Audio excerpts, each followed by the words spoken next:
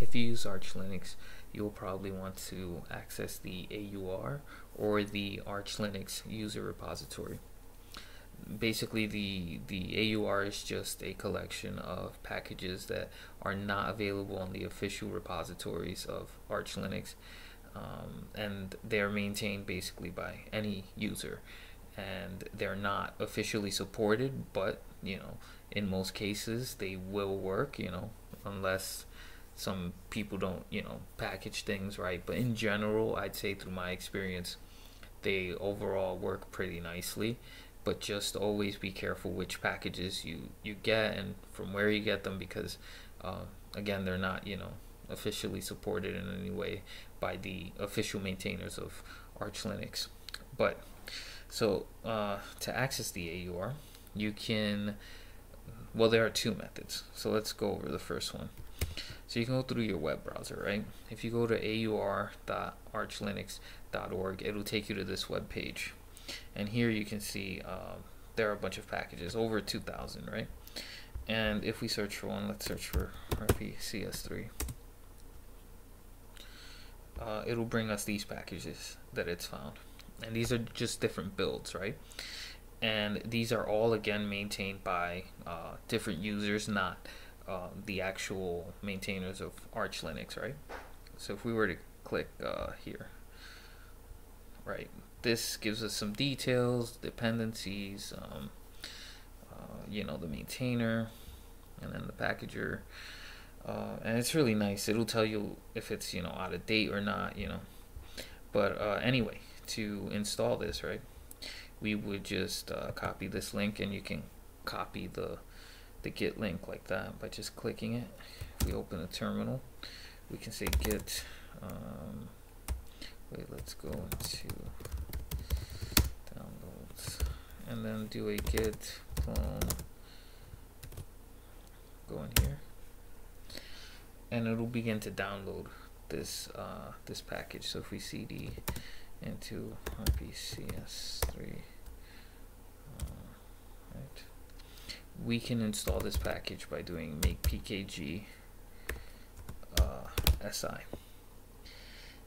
Now I won't install this package because it's actually a really big uh, package, but because it'll take really hours on this uh, machine. I remember on my uh, 12 core 24 thread uh, Ryzen, it took maybe an hour or so. I don't even remember. I stepped away from my PC and I was kind of surprised, but it is a big binary.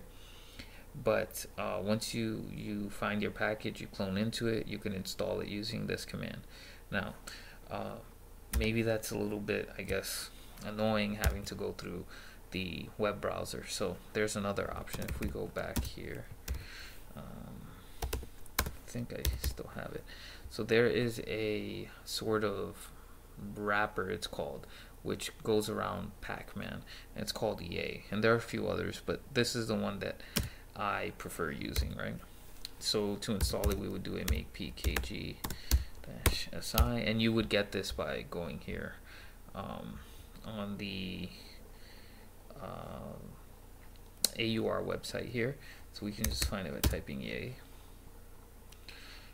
and we'll see that it's right here. And we would just you know copy the clone link and then uh, clone into it using git. And once we've gotten it we just go into the folder and we type makepkg uh, si and then it'll start to parse it and um, uh, bring all the dependencies and stuff and then it'll build it. But I'm gonna exit out of it because I already have it. So once it's installed, you can actually manage your entire system using just Yay. So let's just say we want to clear uh, all the cached packages on uh, our system, right? We can do a scc command which clears the cache. But not only will this uh, clear the uh, AUR packages, this will also clear the Pacman packages, right? So we can see that it cleared um, the Yay and the Pacman uh, packages. Now, this is a good thing and a bad thing. Um, I haven't experienced this, but a lot of people always warn, you know, you can break uh, break your system using uh, Yay or any other uh, uh, wrapper around Pacman. But in in my case, I found that you know it hasn't broken anything. The one thing that I would say is to sort of be careful what you're doing. If you're not too sure of what you're installing or what you're changing, be very, very careful. Uh, and try to, I guess, manage what is maybe an AUR package, try to use Yay more for it. And if it's a Pacman package, try to use Pacman for it.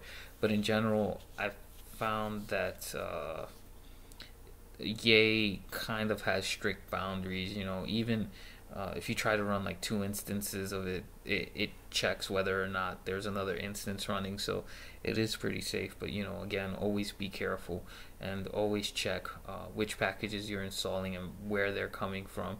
Uh, because you know there is a chance, I guess, that you can break your system, and I haven't experienced it, but I've heard uh, many people say that you know you should really be careful. So as long as you're careful, you'll be fine. I've never broken my system using Yay, but that's that's how you do it. So those are your two options. You can use a uh, wrapper around Pacman to uh, access the AUR, or you can just directly go to it through a web browser, copy the link, uh, clone into it, and then uh, install it directly. So the, the option is really yours, but I guess Yay just makes it a lot more friendly because you can also search packages too.